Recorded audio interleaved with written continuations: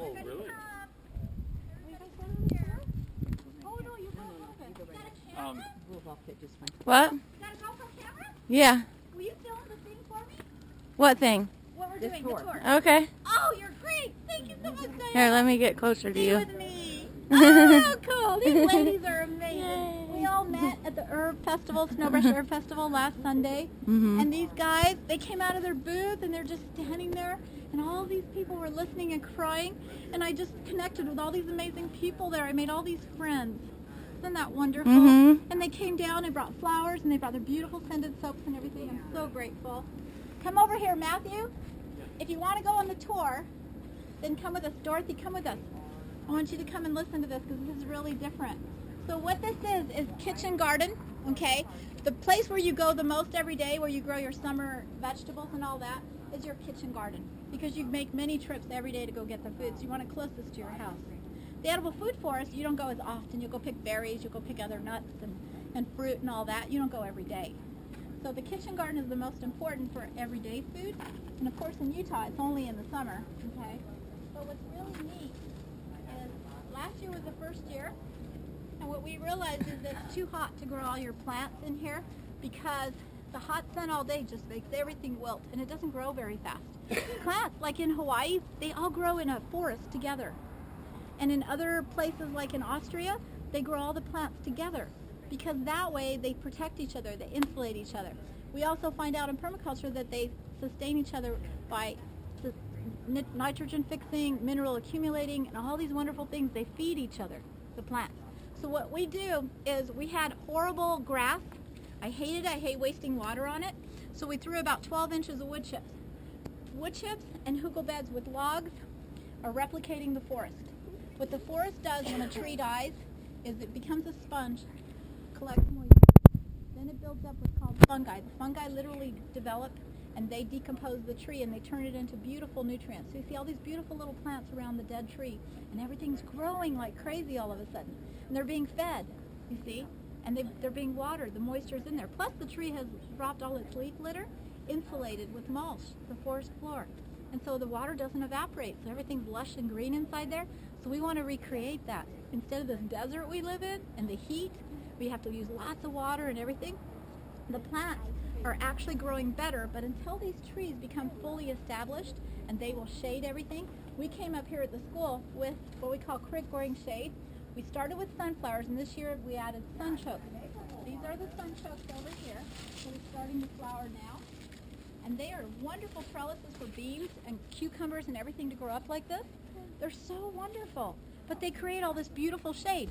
Then you'll see how wonderful the tree shade is over here. Now what we realize is because we have it cooler in here and we have moisture, our lettuce doesn't bolt down under here. So we decided let's try some tropical plants like the Polynesians. We have taro root. Look at this Oh, gorgeous wow. taro root. It came back from last year. It literally insulated through the winter and came back and sprouted through all the witches. And I was like, boy, are you a hardy tropical plant. You know, it's amazing what you can grow when you create the right conditions. Mhm. So we've got turmeric over there. We've got taro root here. The turmeric's over there. We've got horseradish. We've got ginger coming back every year.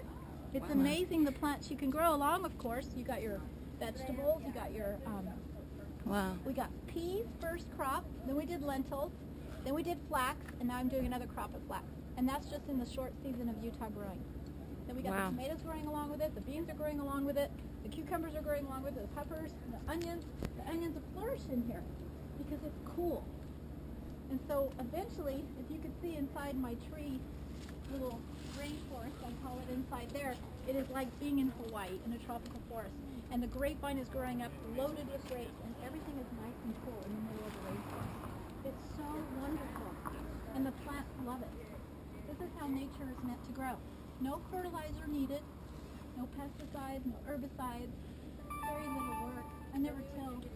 I just throw a bunch of seeds out every year, whatever I feel like throwing out there. Perennial plants, like the trees and everything else, a lot of these, uh, like this is basil mint, they'll just keep coming back. And you get so much of it, you share it with everybody. Because everybody wants this. It smells so good. If you want to make tomato sauce, this will come back every year. Well, that fragile basil doesn't. You got to grow little plants every year. This is wonderful. So we try to go more towards perennial. with permaculture because it keeps coming back and it'll take care of itself. So we got berry bushes in here. So this is what's called the kitchen garden. Now I'm going to take you to what's called the edible forest. We have 57 fruit and nut trees out there.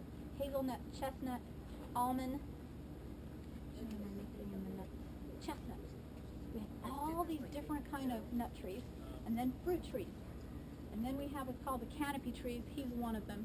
Because in the forest, there's always canopy trees that let filtered light in, and that's what we want. And then we have the understory trees, which are your fruit trees. Then we have bushes and vines growing under them.